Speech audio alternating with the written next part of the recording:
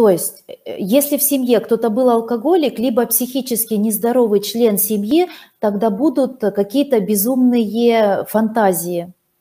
И мы должны это улавливать. Основа таких фантазий – это кривая зависть.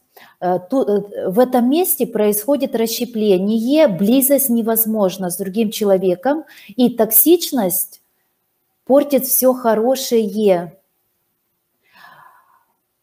Вот э, для, подготовила для всех картинку невротики, пограничники и психотики. Напоминаю, по международной классификации Нэнси МакВильямс 80% все мы – это невротики. Уровень психики невротический, то есть крепкий. Невротики тоже делятся на три части, условно, красный, желтый, зеленый. То есть красный – это мы ближе к э, пограничному типу личности, Зеленый – это ну, более как самый здоровый вариант э, невротической личности. Здесь мы минимально искажаем реальность. То есть видим, где друг, где враг, и ведем себя соответственно, условно. Э, есть пограничный тип личности, когда мир черно-белый. Такие люди тоже живут в социуме, там много агрессии. Ты мне друг или враг? Ну, такие люди навряд ли, э, ну, редко приходят к психологу в России. Это могут быть бизнесмены, политики. Именно вот на своей агрессии можно хорошо выходить на результаты какие-то.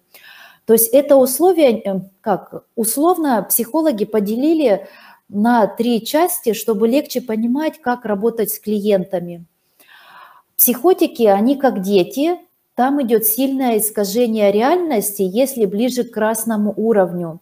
Но психотики на зеленом уровне, как в светофоре, да, могут спокойно жить в социуме. Э, нужна, конечно, поддержка близких, потому что они как дети, они не умеют врать, все понимают буквально. Э, прототип – это фильм «Босиком по мостовой», там главная героиня – психотик – также Форест Гамп – это тоже психотический уровень личности. Вот фильм «Форест Гамп» и главный герой – психотик. А смысл такой – мы невротики, здоровые люди в стрессе, мы можем спускаться ниже. У нас может быть психотический провал на 5 минут, когда мир э, или пограничный провал. Если психотический эпизод, провал, то для нас мир черно-белый на 5 минут – да, мы невротики, но провалились ниже. Мир для нас черно-белый. Ты или друг, или враг. Вот, ну, жесткое деление на черно-белое, но это на 5 минут. Или мы можем провалиться еще ниже, психотический эпизод, психотический провал, когда мы на, на кружку говорим, что это слон, условно. То есть прям сильно искажаем реальность, не видим ну, то, что происходит.